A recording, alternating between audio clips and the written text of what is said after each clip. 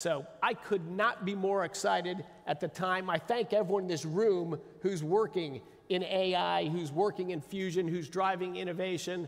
I thank my friend Ylli and, and the fabulous group he runs that's been all in. How do we figure out what are the big scientific issues? How do we mobilize people and motivate action and get smart people that are passionate? You're, you're, a, you're a meaningful driver of this effort as well. And I thank you for that. He visited me a few months ago and he said, What can we do?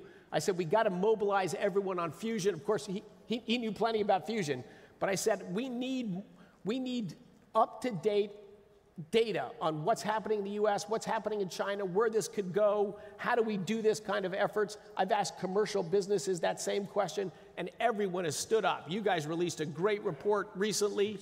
DOE just released one as well look, we're gonna, we're gonna get the fusion ball moving. I think we will see more progress in the next five or 10 years, much more progress than in, than in all of the history before on fusion.